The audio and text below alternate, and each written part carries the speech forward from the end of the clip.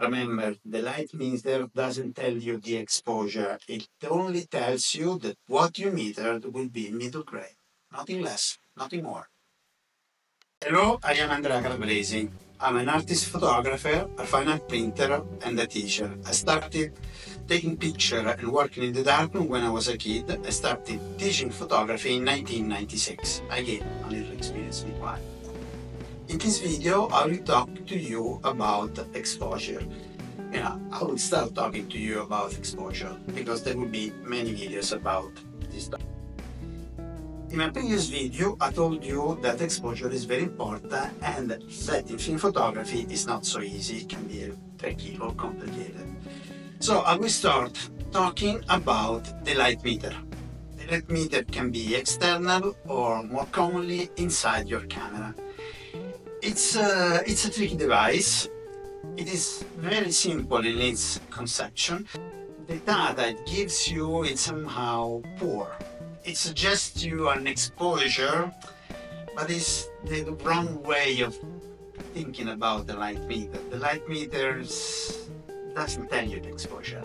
It only tells you that what you metered will be middle gray in a standard process.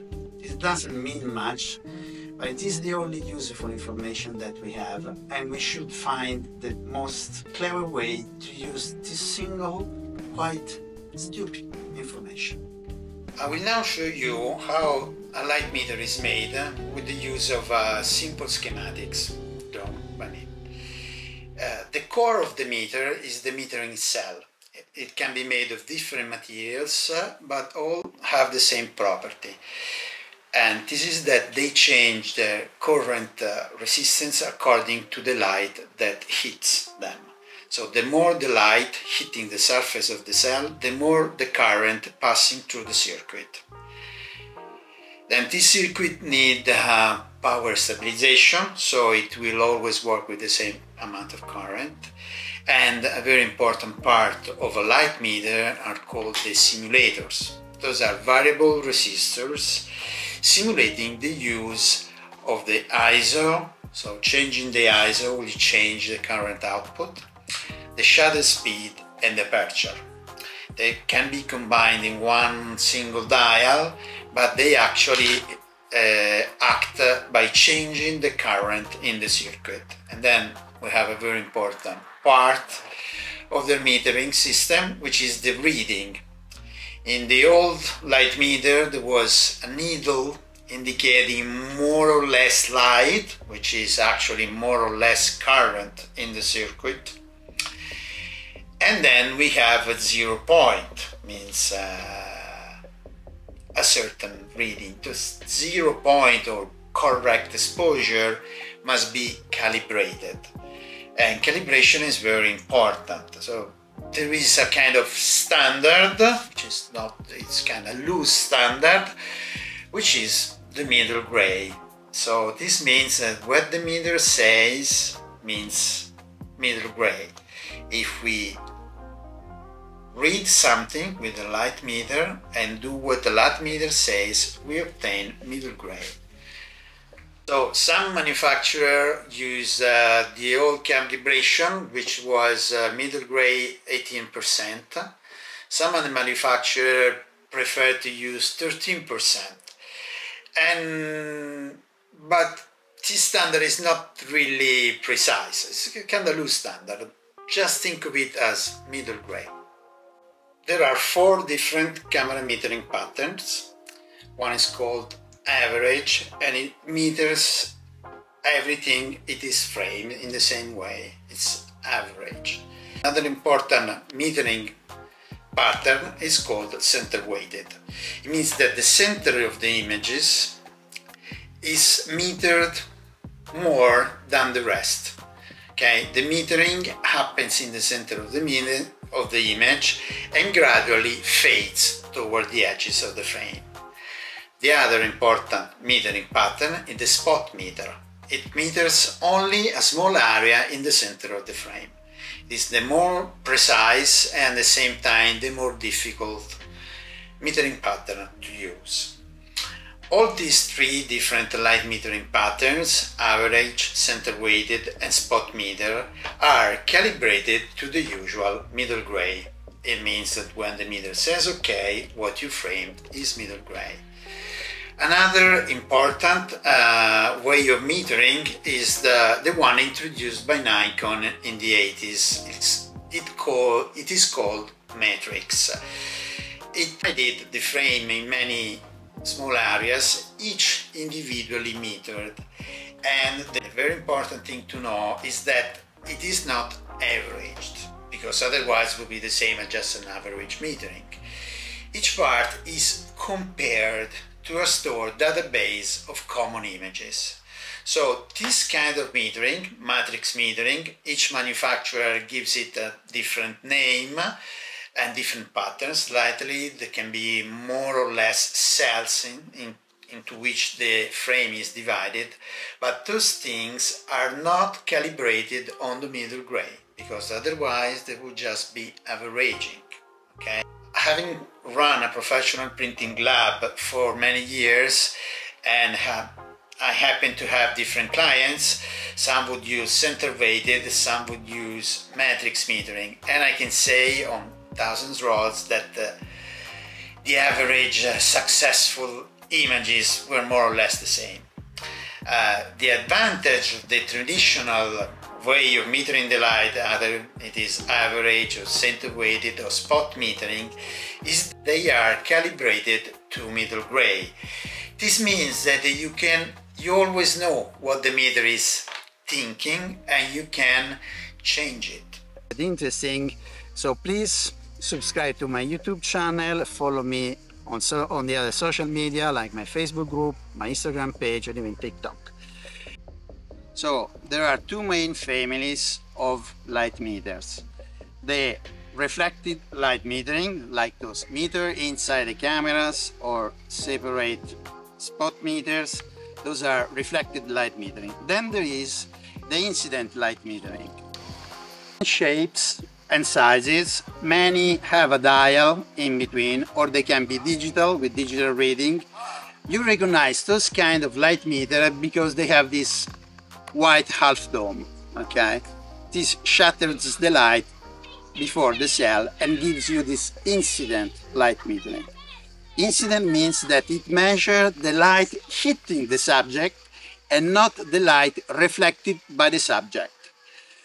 Uh, those kind of meters, though very common and very much used, have some serious limitations. Uh, the first one is that they tend to give you an exposure rather than a reading. What's the difference? With an exposure, you are suggested to do what the meter says, and actually you don't have uh, a reference to interpret or change what the meter says. So you're kind of subject to this kind of limit, to the limitation of this kind of meters. Well, on the other hand, and the reflected light meter force you to interpret the reading. You use manual mode not to passively follow what the meter says, because that would be the same as using auto. Okay, so you use manual in your cameras because you want to use your brain and you want to interpret what the meter suggests. Okay, with reflected light meters, you have a tool of interpretation. You know that the reading says if you do what I suggest, what you metered will be middle gray. In this case, incident light metering, we don't have this clear indication. It might be a simple indication, but it's clear, okay? This way, it suggests an exposure rather than give you a reading. The use of incident light metering uh, gives you some limitation and also some real problems. This kind of metering is very much fooled when there is high contrast, okay? Because it tends to uh, put the exposure in the middle of the light range. Uh, but in film photography, the shadows are quite close to the midtones. So when the contrast increases, if, if you follow this candle meter, you will underexpose, and also quite a lot. Uh, it also can be fooled easily by the surroundings uh, when they're not exactly part of the picture. By the surroundings, it includes your own shirt. When you use an incident light metering in high contrast situation, it is better to meter in the shadows rather than in the highlights or in between or averaging to different metering, shadows and highlights.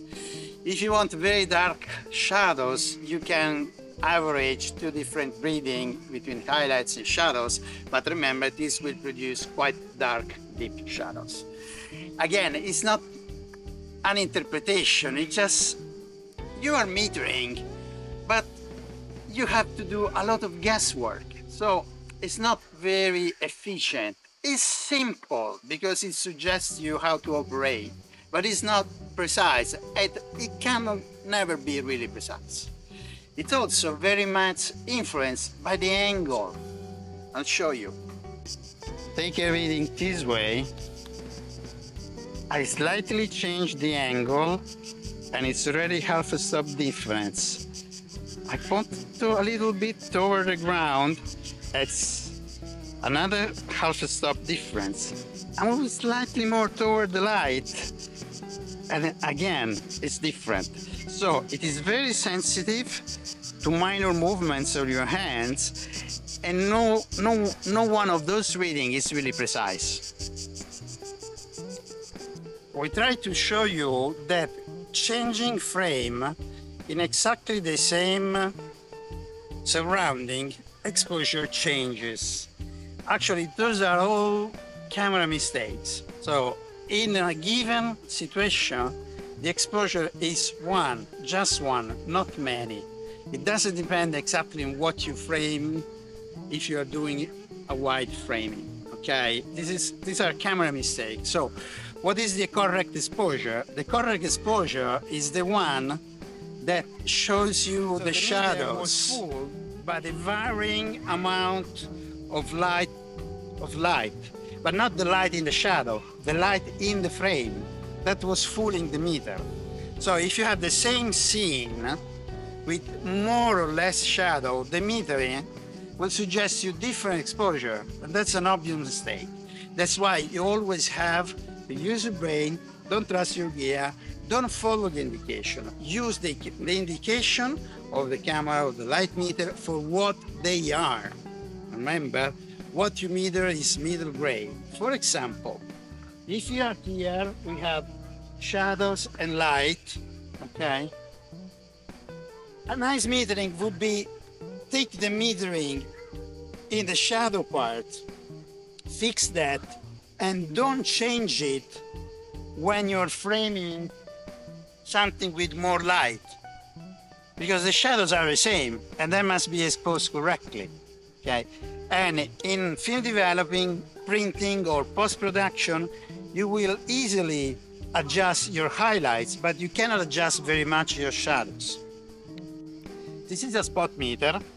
This is my preferred light meter, but there are many different spot meters as standalone light meters, and many recent cameras and many recent cameras have a spot meter integrated in the camera meter. So I'll quickly show you a way to use a spot meter. Uh, the spot meter is tricky because it measures a narrow angle. So the, the reading changes a lot depending on what you what you frame, what you meter. And that's exactly the, the good thing about it. It's, it may be difficult at the beginning, but this is the good thing of it. So in this situation, imagine I'm taking a picture of this garden. I'll take different readings, but the important readings, the one you will choose the exposure about, are those in the shadow. So I will meter there, the deepest shadow, and I will memorize this value. Okay, it shows 1 30th f2. then I meter a, uh, a less dark shadow there, always there,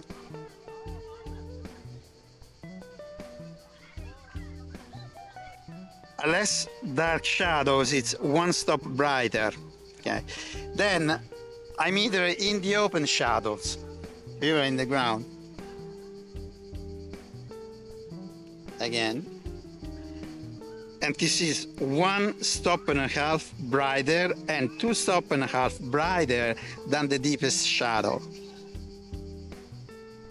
Then I take a reading of the grass in the sunlight.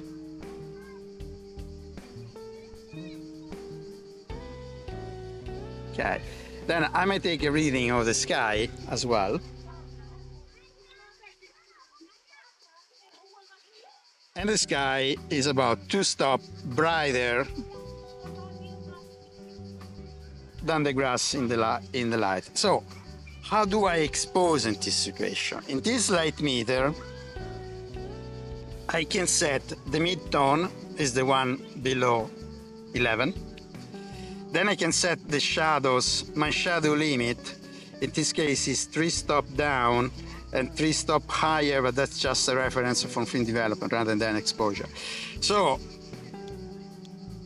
if I put the darkest shadow three stop below, that would be at the very limit of reading. It could be black with some something in it while the dark shadow, but not so dark, will, will have full detail, but will be like the darkest tone you can see in it. This could be an exposure, again, it's an interpretation, and so I will shoot at 1.8 f11, that was my f-stop, okay, but I didn't put the shadow too dark, okay?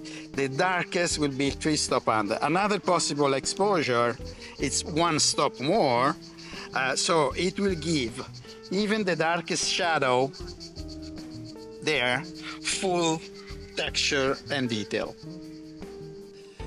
Um, a quick thing about uh, my philosophy. I see technique as a tool okay? There is no right technique okay? So an image that's technically correct really doesn't exist. The only thing that makes an image correct is that it is what you like. So those are mistakes. Maybe they are not mistakes. If it is something you done on purpose to obtain a certain effect that image is also technically correct. So technique is a tool for your expression. It's not a set of rules that you follow to have a correct image. A technically correct image doesn't really exist, okay? It only exists cause and effect.